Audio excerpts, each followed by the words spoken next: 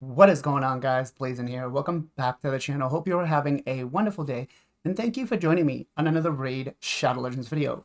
Today we are going to be doing a damage test on enemy max HP hitters and we're going to see do we actually need to have them booked, right? Um, now I'm going to go ahead and kind of already say this.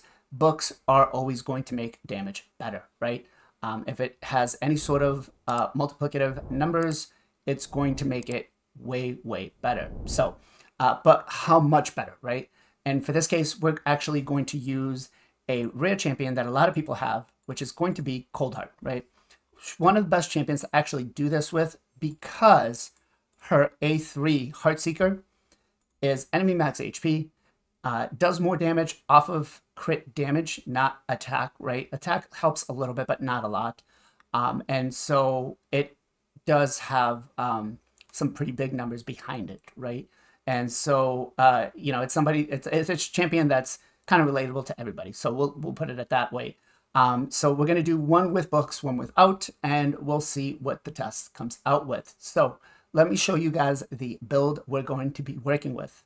All right, so uh, the damage test we're going to do is with Coldheart. She's probably actually one of the best champions to do it with because uh, we can build her with 70% crit rate, still put as much crit damage in as we can and uh, you know see what kind of results we get. So we have one right here that you can see is not booked, and we have one right here that is fully booked. Neither one of them have masteries, right? Neither one of them have blessings, so it's going to be a same comparison. Um, I did level up two extra Coldhearts, so now my account has five Coldhearts at six star. Uh, hopefully, I can figure out something to do with them, right?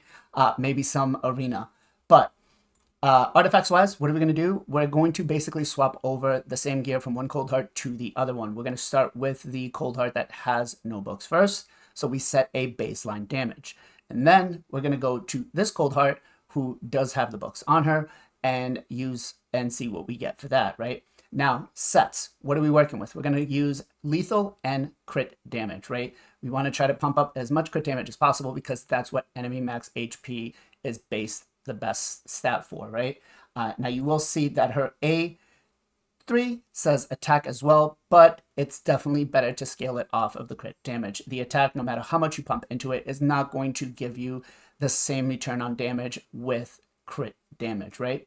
So uh, stats wise, what are we working with? Okay, so we've got 75% uh, crit rate, and actually the crit damage just changed a little bit because in Dragon's Lair, Actually, it doesn't. I thought I had more. I had more HP. So 283 crit rate, right? Uh, we didn't put any accuracy in the build. We didn't care for it.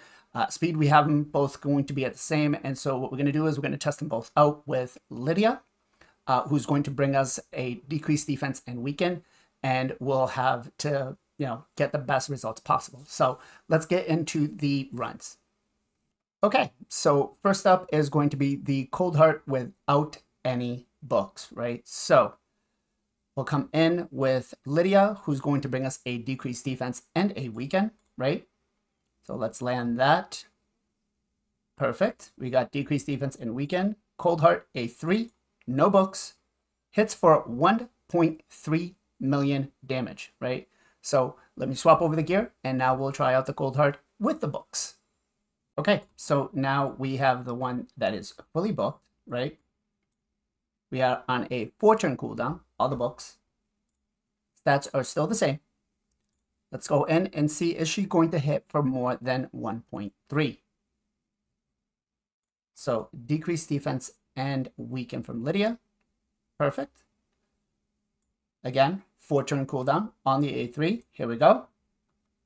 1.94, right?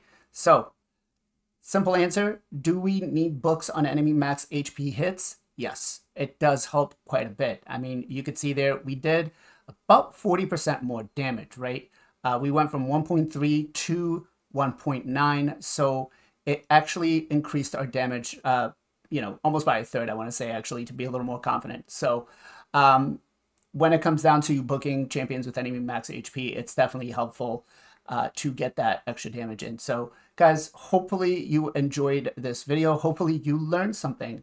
Um, if you did, give me a thumbs up. We are still doing the giveaway for Chronom, so make sure that you guys are commenting on the videos.